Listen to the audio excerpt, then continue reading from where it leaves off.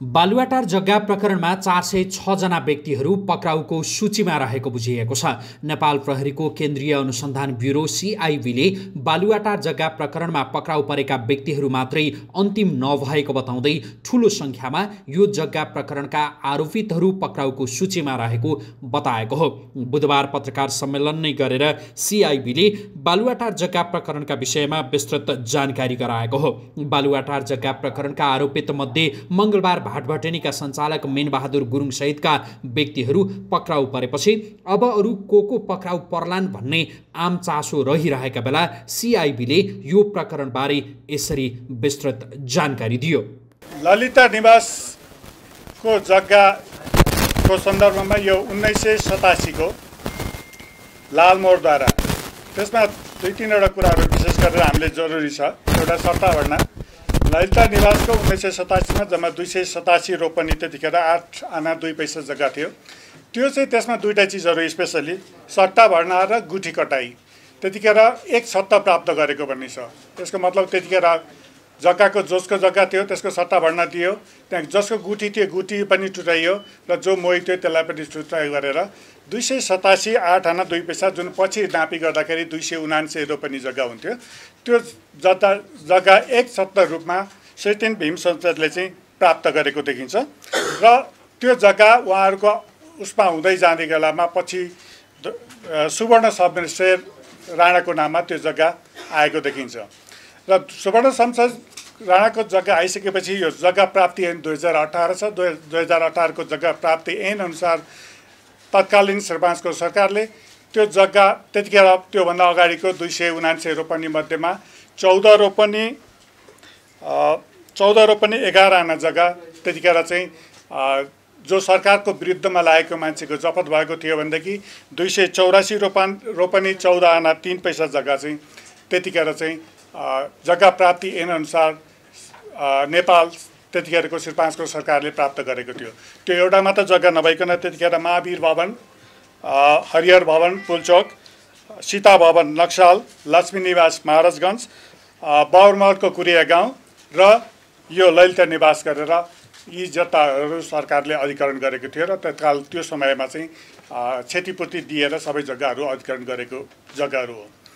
तेइसै जग्गा मध्येबाट चाहिँ पछि ती मध्येमा त्यो कनक शमशेर राणाले त्यतिखेर चाहिँ त्यतिखेर श्री पाँच सरकारमा जा जाहेर गरेर चाहिँ उहाँको बस्नको लागि त्यही जुन दुई सय उनान्सय रोपनी मध्येबाट आठ रोपनी जग्गा चाहिँ उहाँले जुन पहिला क्षतिपूर्ति बुझ्नु भएको थियो त्यही पैसा तिरेर कटाएर त्यो पैँतालिस हजार रुपियाँ कटाएर बाँकी जग्गा आठ आठ रोपनी जग्गा चाहिँ उहाँले प्राप्त गरेको देखिन्छ त्यो जग्गा मध्येबाट अहिले हामी जुन लैता निवासको जग्गाको कुरा गरिरहेको थियौँ यो जग्गा तेइस मध्येको जग्गा हो र यसबाट त्यति तत्काल अवस्थामा के पुष्टि हुन्छ भने त्यो तत्कालीन सरपाँचको सरकारले क्षतिपूर्ति दिएर अधिग्रहण गरेको जग्गा भन्ने बुझिन्छ।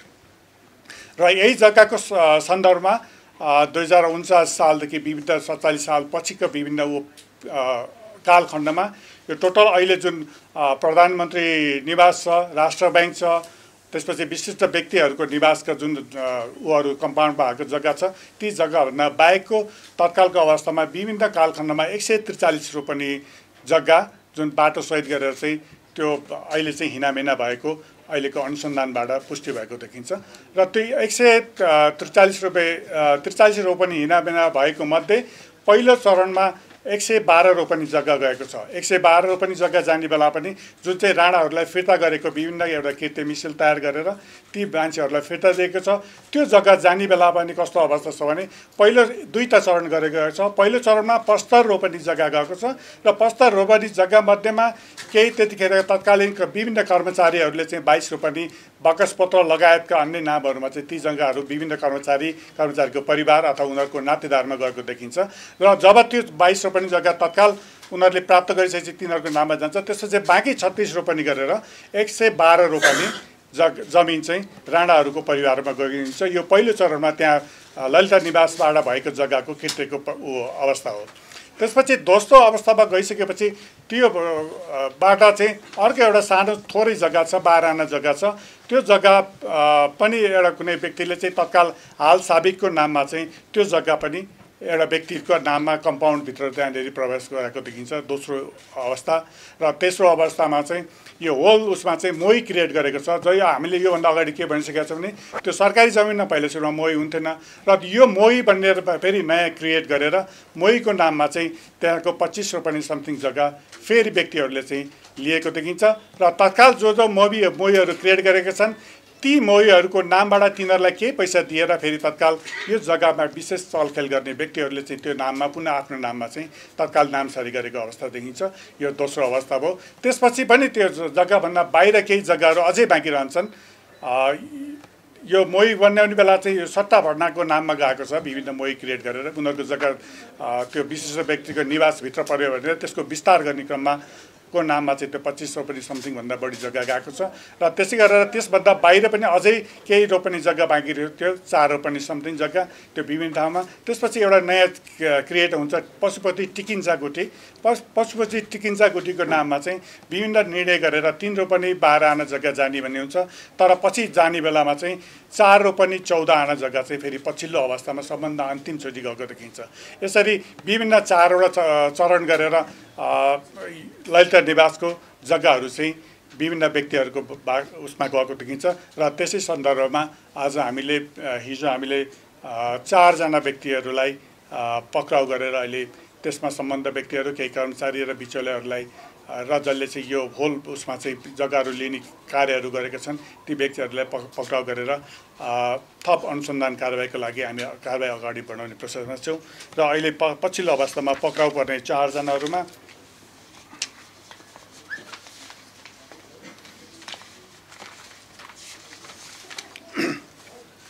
मिनबहादुर गुरुङ काठमाडौँ मार्ग वार्ड नम्बर पाँच बस्ने। त्यस्तै तत्कालीन कर्म त्यहाँको मालपोत अधिकृत धर्मप्रसाद गौतम त्यसपछि गोपाल का कार्की त्यतिखेरको मालपोत कर्मचारी र सुधीर शाह त्यतिखेरको भक्तपुरको मा मालपोत अधिकृत गरेर चारजना व्यक्तिहरूलाई हामीले नियन्त्रणमा राखेर कारवाही प्रक्रिया अगाडि बढाएका छौँ। धन्यवाद।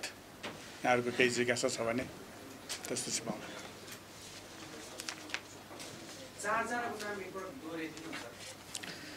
चारजनामा मिनबहादुर गुरुङ त्यसपछि दोस्रोमा धर्मप्रसाद गौतम तत्कालीन मालपोत अधिकृत तेस्रोमा गोपाल कार्की मालपोतकै कर्मचारी र सुधीर शाह तत्कालीन भक्तपुर मालपोतको कर्मचारी। होइन यो मुलुक ऐन दुई हजार बिस अनुसार सरकारी छाप दत्तखत कृति अथवा सरकारी कृतिहरूमा चाहिँ सरकारी उसमा चाहिँ यसको हदम्यादको व्यवस्था छैन। त्यस कारण चाहिँ यसको असीमित सरकारी जमिनहरूको जुन हिसाबले गएको छ अथवा सरकारी कृत्य भएको छ त्यसमा चाहिँ असीमित हदम्याद हुने व्यवस्था छ। हामी त्यसै अनुसार नै अगाडि बढेको छौँ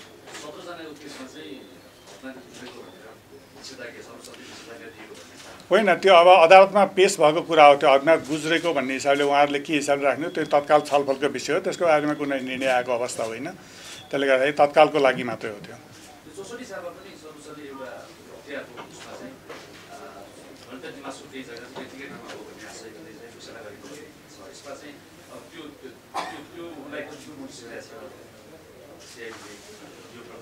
होइन कसले के निर्णय गर्दै भने वास्तवमा अनुसन्धानबाट चाहिँ के देखियो भन्ने कुरा हो हाम्रो मेजर इस्यु र अनुसन्धानमा अहिले मैले के भने भने जुन टोटल जग्गा देखेको छ त्यो शिरपाँचको सरकारले तत्कालीन शिरपाँचको सरकारले अधिग्रहण गरेको जग्गा हो र सरकारी जग्गामा मोही गुठी लगायतका कुनै पनि उहरू हुँदैनन् र त्यसकै आधारमा हाम्रो अनुसन्धान प्रक्रिया अगाडि बढेको र त्यसै अनुसारले प्रोसिक्युसन भइजान्छ यसमा दुईवटा चिजको कुराहरू तपाईँले जुन हदम्यादको कुराहरू गर्नुभयो र अब यो बाहिर उसको कुरा हो। अब बाहिर छलफलको कुरामा त हामी नजाउँ।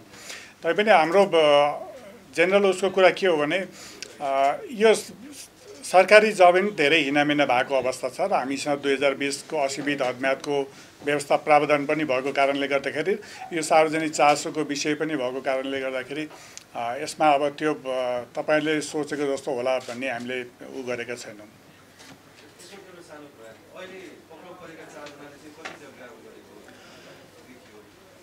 अब यी चारजना जस्तो हामीले जुन तिनजना कर्मचारीको कुरा गरेका छौँ तिनजना कर्मचारीले पहिलो लेभलमा जुन एक सय बाह्र रोपनी जग्गा हिनामिनाको पार्ट थियो ती त्यो एक सय बाह्र रोपनी हिनामिनाको पार्टमा उहाँहरूको रोल छ।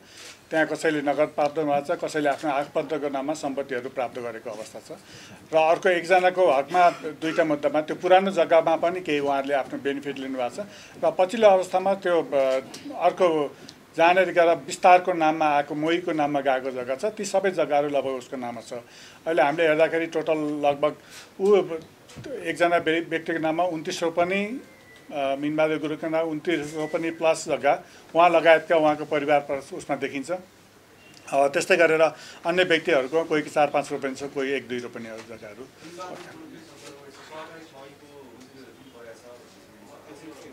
ती फरक प्रसङ्गका विषय हुन् अहिले। अब यो हाम्रो अहिलेको पाठहरूमा त्यो ऊ छैन त्यसमा। होइन अर्को पाठको कुराहरू मैले भनिहालेँ। त्यस्तो छ भनेदेखि हामी त्यसको बारेमा बेग्लै चिजहरू दिउँला। एसएस साहबले जुन प्रस्तुति गर्नुभयो उहाँले दिनुभएको जुन बुदाहरू छ तथ्यहरू छ र बुझिएका व्यक्तिहरूलाई त्यति तत्कालमा बुझिएका व्यक्तिहरूको बयानहरू इत्यादिलाई गर्दाखेरि मलाई जहाँसम्म लाग्छ यो मुद्दा दर्ता नगर्ने प्रश्न नै आउँदा मुद्दा दर्ता हुन्छ अगाडि बढ्छ। र यसमा हदम्यादको सन्दर्भमा अघि भर्खरै पनि यसको जुन कुन हामीले कुन एन एनलाई टेकेर जाँदैछौँ भन्ने कुरा स्पष्ट भइसकेको हुँदाखेरि यसमा दुविधा गर्नुपर्ने कुनै प्रश्न छैन। र चलखेलको हकमा सानोभन्दा सानो मुद्दामा चलखेल गर्ने पक्षहरू रहन्छ नै ती पक्षहरूसँग उनीहरूलाई जवाब दिने हामीसँग यथेष्ट प्रमाणहरू छन् यथेष्ट आधारहरू छ। त्यसले गर्दा यो मुद्दा एकदमै सही ढङ्गले अगाडि बढ्छ भन्ने कुरामा म र हाम्रो टिम पूर्ण रूपमा विश्वस्त छ। अठहत्तरको प्रतिवेदनमा बिगो चाहिँ तेह्र अर्बको हाराहारीमा थियो। अहिले पनि सोही नै हो। कि केही फेरबदल छ? बिगोको त अहिलेको चलन चल्तीको हकमा जाँदाखेरि यसलाई फरक ढङ्गले चाहिँ जान्छ।